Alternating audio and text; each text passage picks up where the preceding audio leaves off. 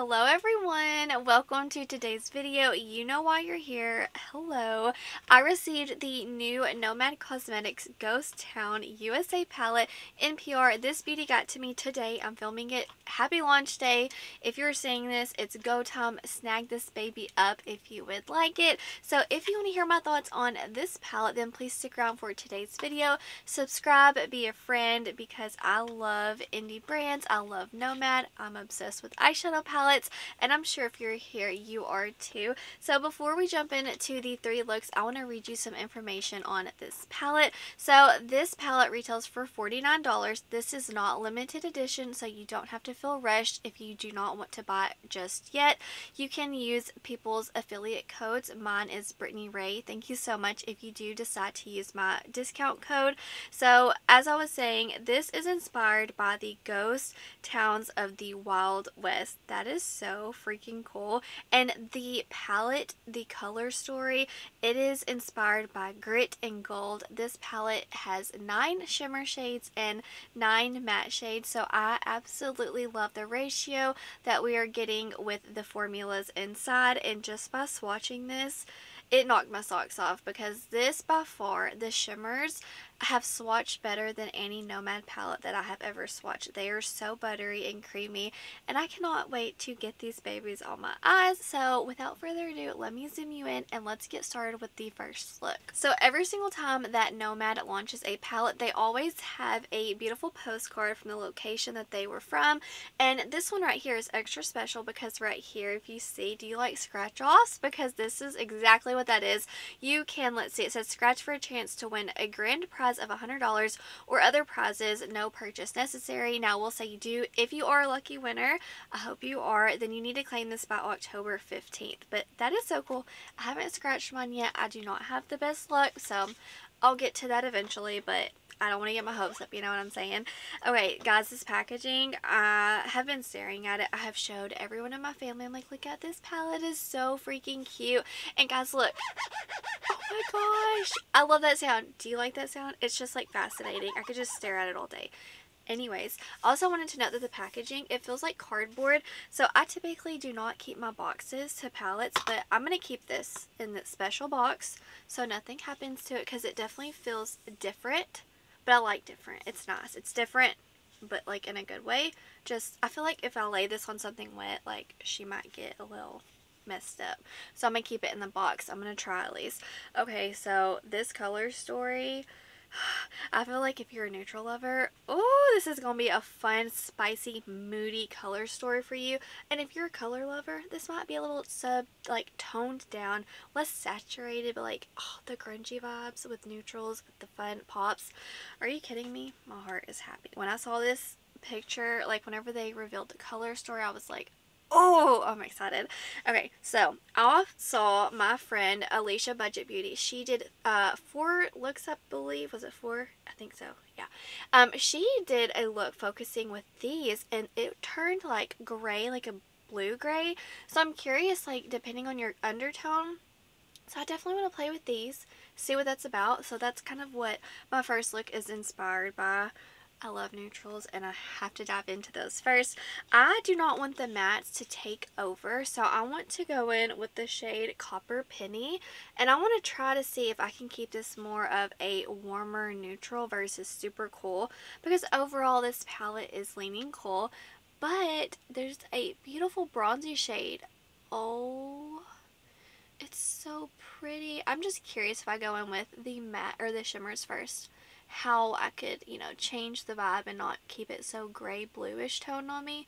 So we'll see. Something I have struggled with Nomad's shimmers in the past, they have been, I've had very, I would say two palettes, the shimmers came really firmly pressed. So I was very excited to see that these are almost wet feeling. So if you like a very soft shimmer, almost wet, squishy, mushy, all the yumminess, you're going to love these shimmers. Obviously, that's just based off of my swatches.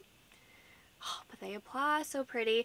Now I'm just going to blend in the mattes and see how it blends with that more bronzy tone. I'm going to go in with this one right here.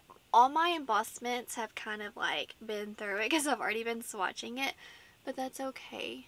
Okay, definitely. I can definitely see this taupey vibe You know what? I have the new Natasha Denona I Need a Nude palette. And like this, like these six shades kind of give me those vibes. I'm not to lie. Okay, I'm just to keep blending that in. Oh, so pretty. I love a taupey with bronzes, bronze mixes. Now I'm just to kind of go down the row.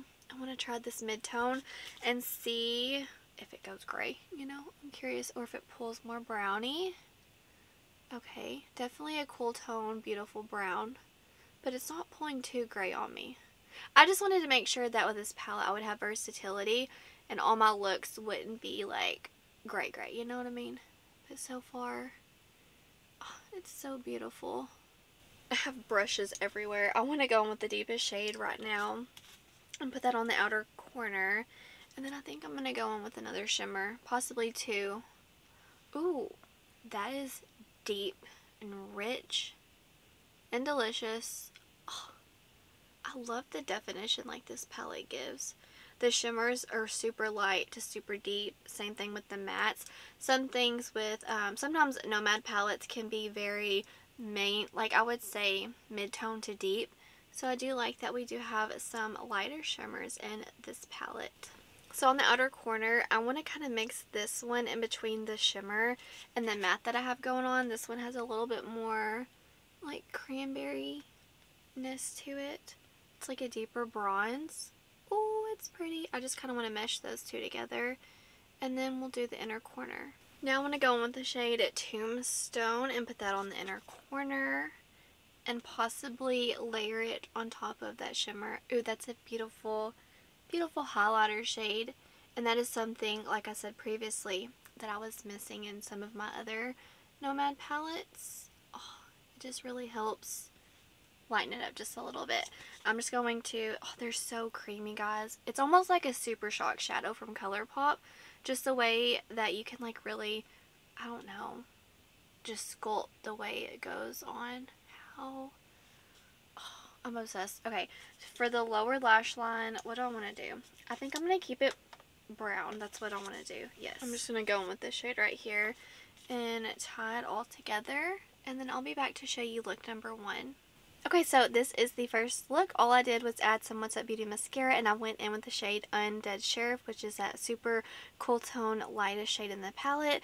And this is what I came up with, so I'm going to turn down the brightness now. Here's that shade up close. I know you're not going to walk around in the dark, but I just like to show y'all how the shadows do contain beautiful sparkles in there.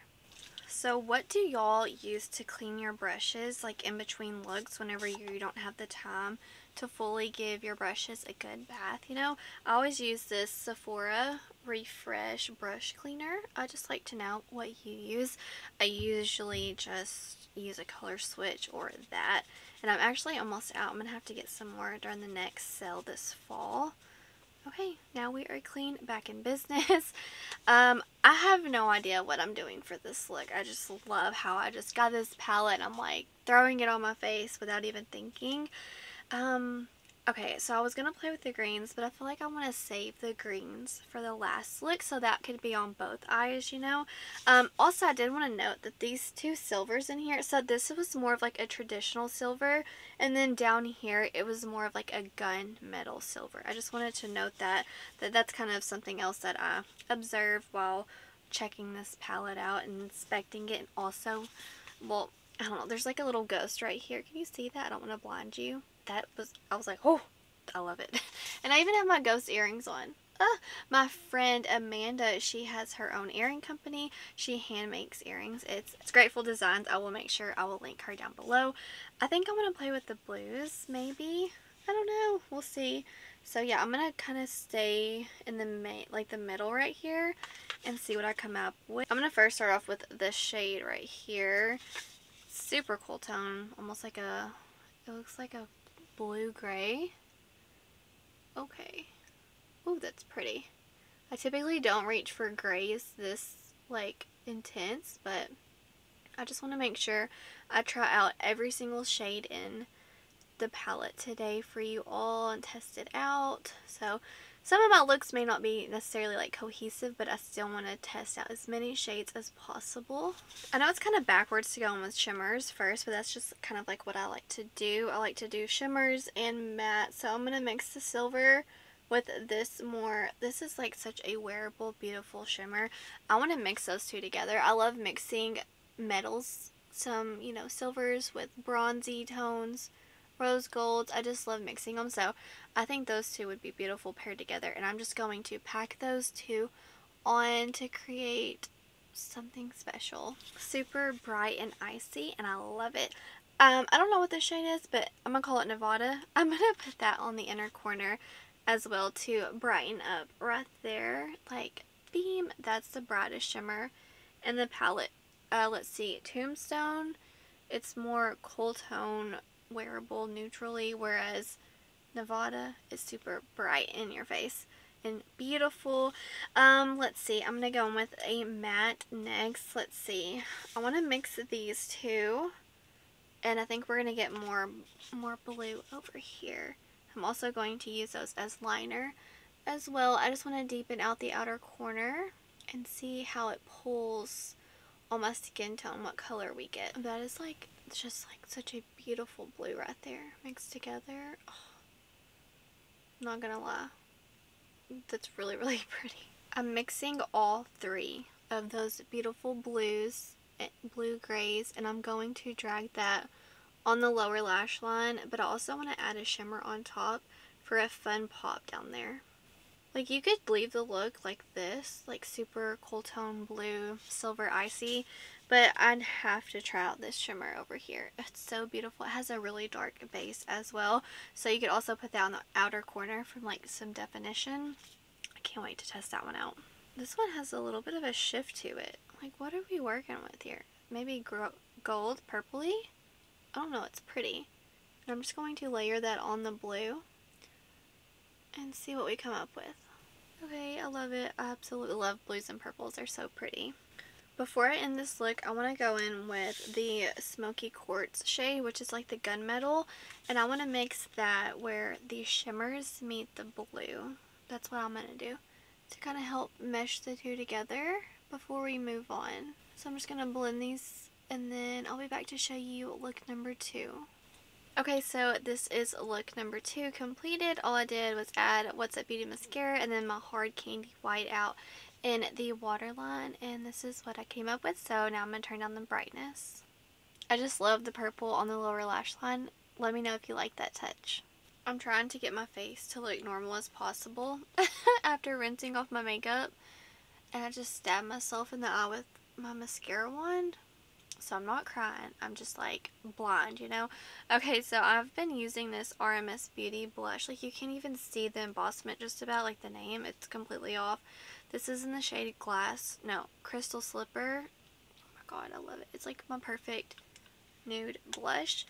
So while we're getting my face normal, going in with my highlighter, I use this almost every single day. It's my Dior quad.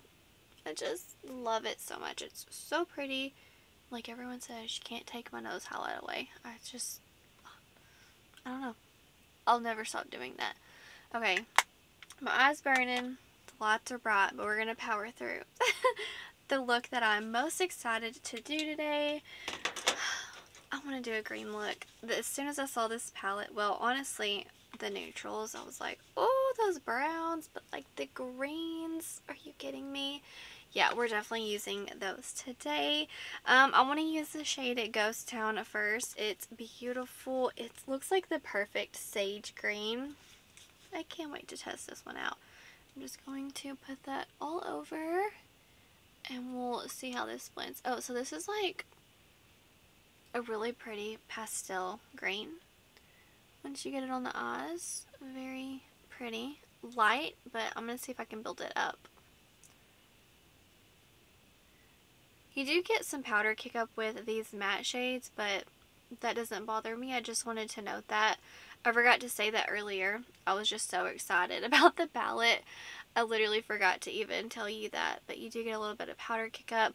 Nomad's matte shadows, they're always good. Like, it's not like I was gonna, coming into this review, questioning that, I knew that they were going to be excellent quality. They have nailed their matte formula.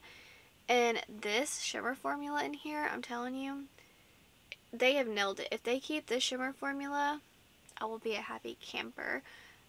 It's a beautiful shade. So I'm going to go with this, the darker one next. It's like more of a mid-tone. I don't know what I'm going to do. I'm just kind of layering everywhere. If you hear a sound machine, I'm sorry if you hear static. Um, I'm filming this at nighttime and everyone's asleep. And we like our sound machine blaring, like so freaking loud. So if you hear that, I do apologize, but the show must go on. So I feel like these greens don't necessarily go with the these two. So this is like a dirty money gold and this is like a super bright green. And these are more of like, I would say like eucalyptus sagey green shades. So these would be beautiful with like this shade. If I wasn't reviewing the palette, I would dive into this shade or even like a silver. For, for me personally, that's just how I would utilize that combo. But I need to use all the greens. So I'm going to go in with the brightest green. See, it just, I don't know, they're different tones in my opinion, but I'll just shut up and see once I get it on my eye. Yeah, so I would mix this green with the brown mattes. It's flip-flop, but I'm just, you know, telling you how I would do it. Um, and going forward, I'll definitely create more looks for you all. Don't know. I just wanted to throw this palette all over my face today beautiful, beautiful shimmer though. I'm going to do the same thing over here on the other eye. I just, I can't get over how wet these shadows feel. Because the past, my past two Nomad palettes, let's see the Safari palette, um, that those shimmers were firmly pressed. And then the Verona Love and Death palette, I had some firmly pressed shimmers in that one. But goodness gracious, I can get down. I can get down with these shimmers right here. I don't think that's such like a harsh combo contrasting difference. I don't know, I like it, but I'm not like obsessed with this color combo. Now I'm going to go in the shade Gold Rush. And I'm going to put that kind of like on the inner third.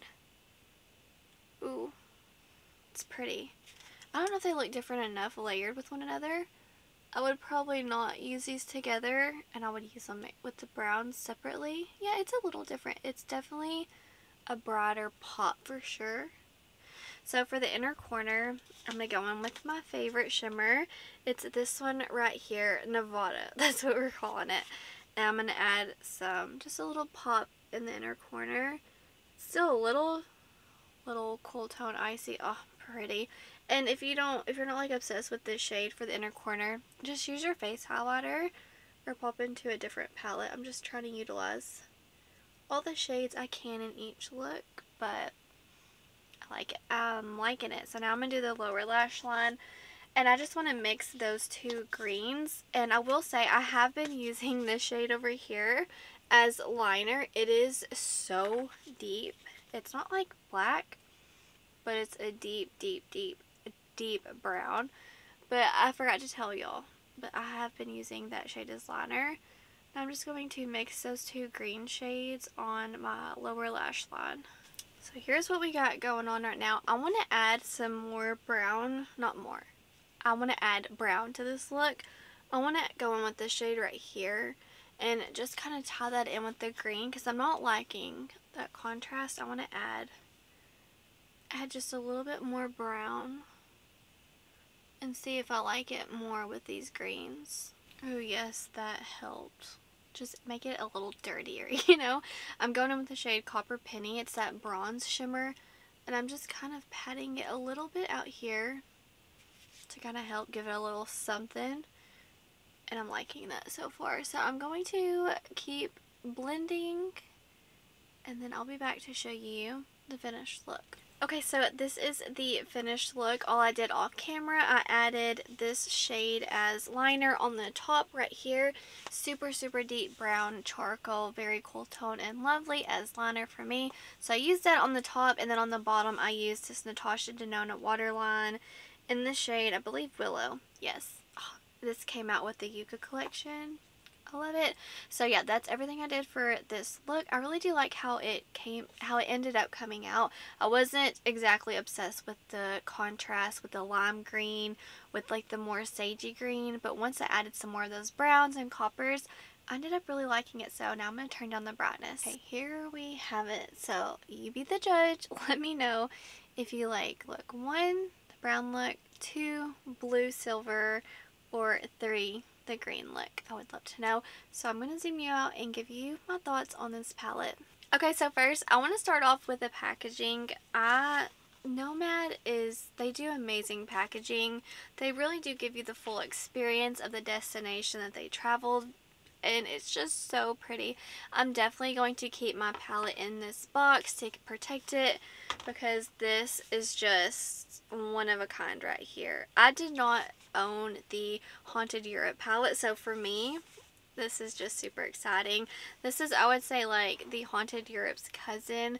This is more cool tone, more wearable in a way, whereas like the Haunted Europe seemed more punchy and vibrant, but still beautiful. But that one's discontinued. And as far as the color story goes, I think that this is for everybody. If you like softer tones, neutrals, I think that this would be like your fun, spooky, moody palette. Some fun pops for just someone who likes very soft colors. This would be like a fun color palette for you. And if you like colorful shades, this is more of like a subdued version. It's not so saturated. Like I said, it's very moody, grungy tones. You have some greens, very beautiful sage greens, super deep charcoal brown, almost gray, and then these really unique blue shades and then these cool tones here. It depends on what you pair these with. I think if you pair them with the silver, they're going to lean more gray. And if you did what I did and you pair them with the more bronzy tones, you could get more of a brownie look in a way. So I love the color story. I like how there is something for everybody here. And I do like how Nomad this go around. They gave us the beautiful... Oh, creamy shimmer shades. So if you don't like a wet formula, like very squishy, almost like Super Shock-esque, you might not like the shimmer shades in this, but I personally love a squishy shimmer. So yeah, definitely right on my alley. Nailed it. This is going to probably be my favorite Nomad palette. I feel like every launch we all say that, oh, it's our new favorite, but like, it is because Nomad is just that good at giving us exactly what they had envisioned as far as packaging, aesthetic, color story, all of it. And I'm really impressed with this formula. The mattes, they're always really nice from Nomad. They're very pigmented, very, very pigmented. You do get a little bit of powder kick up. They're soft, creamy, but very blendable. So yeah, I really do like the mattes. I like the shimmers in here. I love the color story. I do really like the ratio between shimmers and mattes. We have non-shimmers, non-mattes. It's really nice. I do love that they added some lighter shimmers in here to help give us some like inner corner pops and kind of help brighten the overall look. And we do have some lighter mattes in here. I like the gradient that we have. Amazing. Very, very helpful with me in my like skills in blending and I do love the way that they laid this out. You could just have a shimmer with like a corresponding matte and you can do that all throughout the palette or you could do like categorize it in like three different six pan palettes or mix all around the palette. For me, this is how I'm going to typically use this palette. Obviously, I will pop into it for a beautiful everyday gorgeous bronze look that will be probably like my go-to and I will love to utilize and mix in these greens for a fun pop or I'll do it all over green look. Um, if I ever want a silver gunmetal look I'll definitely utilize it with some of the browns and I love using blues as liners for me so typically like that's how I would utilize this palette and I love that they added the super beautiful purple, almost shifty shade in a way. So yeah, I love this color story so much. I love the embossings in the pan. The shimmers on the embossings, like they don't last long because they're so soft and squishy. But the matte embossings, like all the fun characters in here, they're going to last a while. So we have another hit from Nomad, um, potentially my favorite. If Safari had this shimmer formula, that would have been my holy grail palette. But the, the fact that this shimmer formula, I love it so much. I think that, I don't know, Safari and this one's battling it out. I'm going to love mixing them together. So yeah, I just, I don't know, this packaging, I could just stare at it all day. Formula's great, color story is great. I'm just repeating myself at this point. Definitely let me know which look you like the best. I tried, actually, yeah, I used every single shadow in this palette and I cannot wait to continue to dig into this all month long and also really do enjoy that this is not limited edition. So don't feel pressured. If you're not in a spot where you can buy this right now, you can wait. Maybe you don't want a spooky palette right now, but technically this is year round. But since it's not limited edition, you don't have to feel rushed. You can just wait, maybe wait for like a Black Friday sale or something along those lines because Nomad, they always run really fun sales like that. So don't feel pressured to buy this just yet. But if you do want to buy it, I think that it's very beneficial that you can wear this year round. It doesn't, you don't look at it and you're, and you're not like, oh, Halloween, I can only wear that Halloween, you know? Of course you can wear whatever makeup you want whenever, but I see this as a year-round palette for me and the packaging just is a plus. But that's going to do it for today's video. I do hope that you found this helpful. I hope you enjoyed it. If you're still here, you better be subscribed. I really do appreciate you so, so much for your support. As a small channel, you clicked on my video. There's so many other videos up with this palette. So if you're here, I really do appreciate you. And I hope that you are having a wonderful day. So wherever you are in this world, I hope you're doing well. I hope that you are healthy, happy, and safe. Stay beautiful. Bye, guys.